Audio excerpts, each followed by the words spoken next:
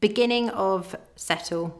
To begin teaching settle, lure your dog onto their bed using a treat. Pop the treat down on the bed and then add a few more treats down to encourage them to stay on the bed. Once your dog has finished the treats, say okay, okay, and throw a treat to get them off of the bed. Repeat this process several times. The hand motion as you throw the treat will become the signal for settle. When you're ready, okay. say okay and throw the treat off the bed. Work on increasing duration in the down position on the bed, giving longer lasting enrichment to help with this. You can now add the word settle as you are luring the dog onto the bed. Over time, your dog will learn that the word settle okay. means lie on your bed and you will receive something nice to chew on.